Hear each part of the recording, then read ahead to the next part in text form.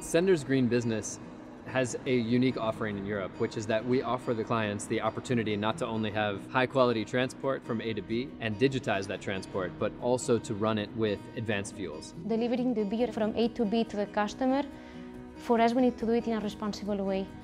That means we allow our clients to choose what fuel goes in the trucks that are running their lanes. It reduces carbon emissions that cause global warming by up to 90%. It's huge.